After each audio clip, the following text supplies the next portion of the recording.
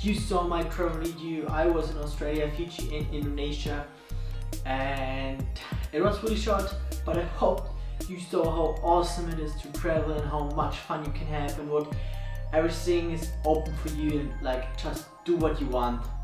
That's all what I can give you for advice today. Do what you want, do what you love, go traveling, explore the world. There's so much you don't know. So go and explore. I will see you tomorrow.